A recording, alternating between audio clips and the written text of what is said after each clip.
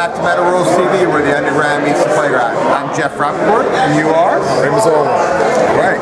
Full blown? Full blown chaos. Right. Yes, sir. Now, you guys refer to your band as Argument Core. Right? Argument Core. Well, is that, I was wondering if that's because the death metal kids can't decide if it's, if it's are you death metal, you're hardcore, or you're argument metal. Well, years ago, we got thrown out of hardcore for having too much fire in the video that we shot, but but the metal kids never embraced us. So so it's we're just heavy. Okay. That's it. We're a heavy band. That's the only way to describe it. All right. So it, it's and I stick by that. You know, everybody tries to, oh well, they're this, well they're that type of. No, we're just heavy. We're not hardcore. We're not metal. No we're not it's we have aspects of all. So it's we're just heavy. All right. What, what, personal moment in your life where you've actually experienced full blown chaos? Oh, every day. Are you kidding? That's, that's e- every day. Every day is a struggle. So it's it's it's um. I mean, if you need like an exact example, um, every day on tour, you know, there's always something going on. There's always something band-wise. There's any type of personal animosity between you know band members. You know, when you're with somebody, you live with somebody for so long. it's, You know, especially in a band, you're in a little area.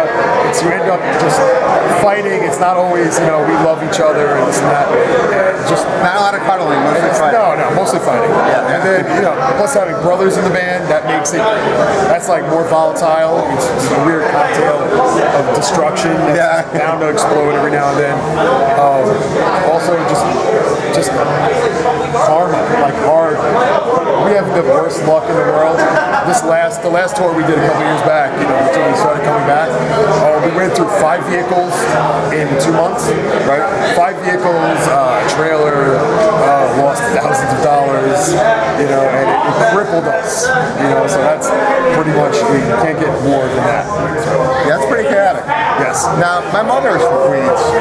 I was wondering, uh, what, she, what has she missed in the uh, 50 plus years since she moved back? The Guyanese have kind of like moved in. So Trinis, Guyanese, all the uh, you know uh, Indian island, you know, I guess, or it's mostly it's kind of like becoming more? Indian. Yeah, Yeah. Yeah. there's lots of buffets.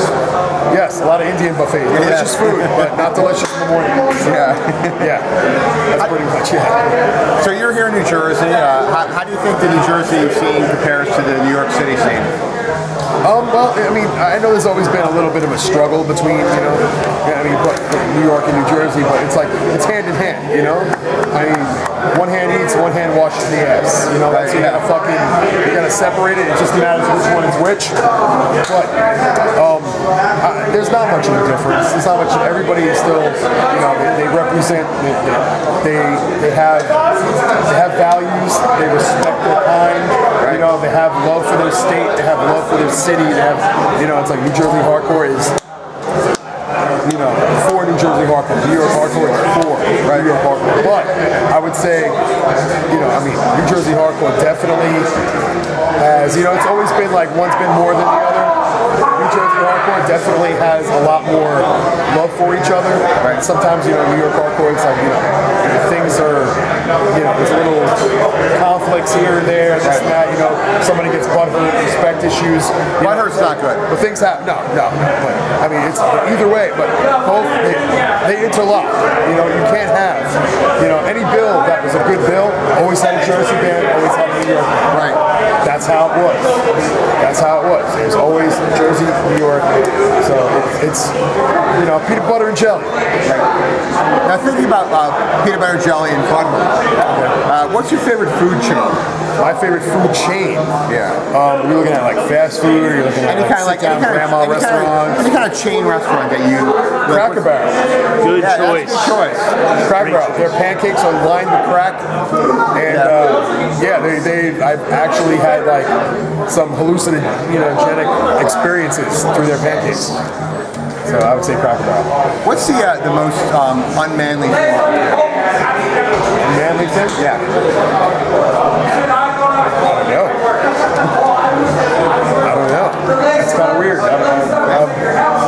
I can't think of it. No, nothing on manly at all. Manly, like, like, like what? Like, uh, like knitting.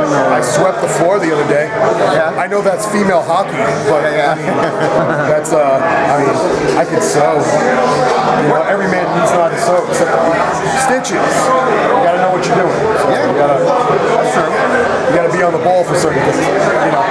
Man's gotta be able to take care of himself. So if you know how to cook, you know how to clean. You know, I mean, a woman is a vessel for a seed. So you know, and for arguments. So Okay. Now, what's what's the worst thing you've ever done for money? Worst thing I've ever done for money? Oh, work. It's overrated. I mean, it really, it's, you know, I'm, I'm, I'm kind of, I'm pretty reserved on that. You know, I mean, I've pretty much, I've drank in some terrible things for money. Yeah. You know, terrible concoctions at the bar. They're like, oh, we'll give you a hundred bucks. And I'm like, okay. Yeah, why You know, not? so, yeah, that's pretty much as bad as it gets for me, yeah. Okay. What's your favorite season? and Why?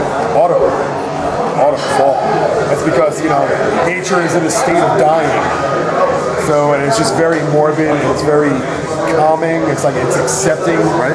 the sleep, it's accepting the slumber. So it's it's nice. It's like giving up, and just the colors and everything else. It's just very serene. I like it. And uh, the, the last and the most important question for Yes. is: Are you honored to appear on Metal Rules TV? Oh yes, of course, of course. Anytime we have an opportunity to to give our opinions in an open forum, it's a, it's a good it's a good thing. You know, we try. We've always been a band for the people. That's why I mean we had a hard time tonight getting here early, but with our jobs and with work and everything, I, I always made it a point of pride to get to the shows early. So we meet all the bands, meet everybody. Just, you know, hang out with everybody, be at the bar with everybody, partying and everything else. So it's like anytime we get to speak our opinions, it's you know people learn a little bit more about us, and we get to just broaden our horizons. Okay. And the last thing is, uh, the floor now to promote anything, your website or anything coming up. Uh, there's no shows for right now. We're still in the process of just booking, and we're writing, you know, things that's going to be a new record. We're doing stuff. That's pretty much it. We have a lot of our solo stuff right now, but keeping the ear open and just, you know, What's your, what's your we're Facebook back. page? Or Uh, just full blown chaos. You know, backslash, all that weird signage. Yeah. Full blown chaos. You can find us. All right. Well, thanks a lot for your time, Dave. Appreciate it. Thank you. Thanks.